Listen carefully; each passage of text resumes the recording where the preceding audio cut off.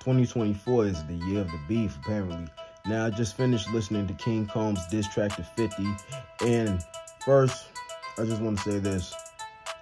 You can't knock a man for taking up for his family. He has every right to take up for his father because for quite some time now, 50 has been antagonizing Diddy all over social media, trolling him and leaving all kind of unnecessary comments underneath each of the posts. Every time something ha- every news update that would be reported of Diddy, he has something to say.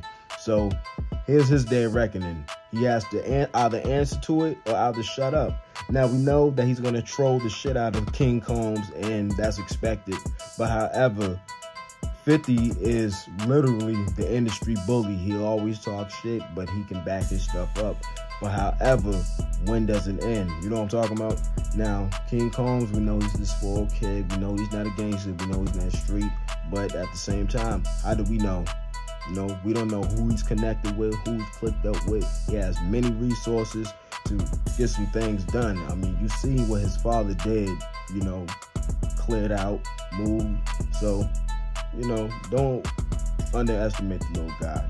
I mean, the little fella. You know, I'm, I'm not gonna call him a little fella, but you know, the little homie. but anyway, man, the diss was mid. I'm not gonna lie, but it made a point, and you have to respect it. So, therefore, 50, what you gonna do?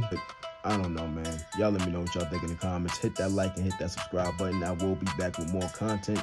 And stay tuned. Good night. Take care of yourselves.